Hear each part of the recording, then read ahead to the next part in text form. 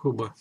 Привет, с вами доктор Влад, и я хочу продолжить тему. Очень всем понравилась тема насчет того, стоит ли детей в садик отправлять. Тут такие чудесные, чудеса-то, я бы сказал, комментарии были насчет этого. Вообще я тащусь тут. Одна мама вдруг взяла и заявила, что в древности садиков не было. Я боюсь себе представить, сколько ей лет, потому что ну, я уже для многих древний, да. Вот, ну, в мою бытность садики были всегда. Вот что она-то помнит. Вот вообще, эта мама очень вообще интересная. Вот, как она себя позиционирует, еврейская мама. Ну что же, еврейская мама. Вот тут она еще э, говорит про психологов, да, что... А вот, мой совет, кому-то тут она совет дает. Мой совет, идите к психологу, это современный раввин. Вот, я обалдел, а что, раввинов уже упразднили, да, уже не, не придешь, не скажешь, ребя, а что мне делать? Вот очень много интересных комментариев, с ума сойти. Вот еще тут один комментарий, значит, мужчина пишет, что для ребенка, вот, садик это, садик, ясли это самое большое извращение, которое придумали для детей. Ребенку нужно дать три вещи. Художественная школа, музыкальная школа, первый спортивный разряд. А дальше, когда он сможет, когда он вырастет, он сможет адаптироваться в любой среде, освоить любую профессию и скажет вам спасибо. Вот.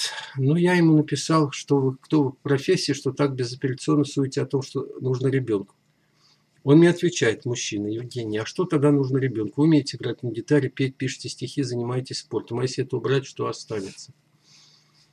Евгений, меня когда-то отправляли в музыкальную школу, значит, на баяне меня учили играть. Полгода я продержался с плаком, с, рев, с плачем, с ревом, из-под палки, и потом я ушел. Вот если вы считаете, что это нужно, да, ребенку, а ребенок этого не считает, и что, вы будете вот так его из-под палки выбивать из него первый спортивный разряд, и художественную школу, и музыкальную школу? Да бросьте, это все решается в семье. Если есть возможность, это все денег стоит.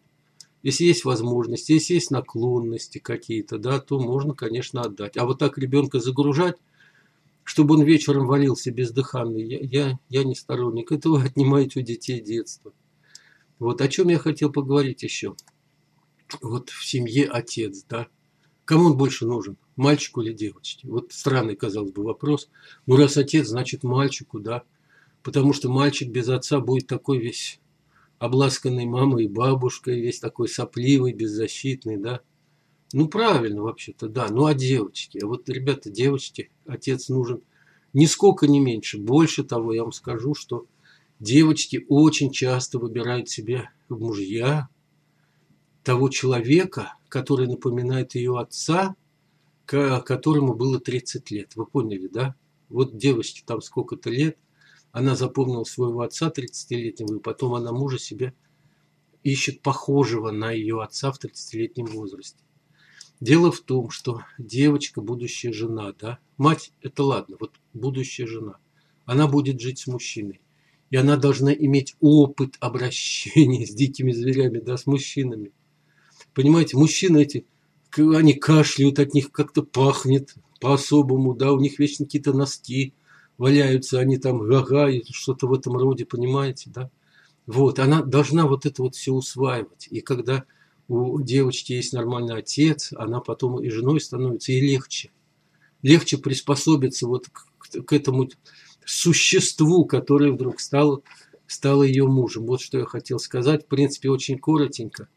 Вот. Но все-таки ролик я решил записать. И очень, очень много... Я вообще я поразился насчет телевизоров. Как, оказывается, эта тема всех тоже задевает. И насчет телевизоров, и насчет сидения дома, садик и так далее. Вот. Ну, ребята, вот это вам спасибо. Это вы мне подсказываете вот эти вот темы, да. Вот, а я их уже излагаю, а потом мы все вместе, значит, это дело обсуждаем. Ну и приходим к какому-то, может быть, кто-то придет к какому-то решению. Я на это очень надеюсь. Всего хорошего. С вами был доктор Влад.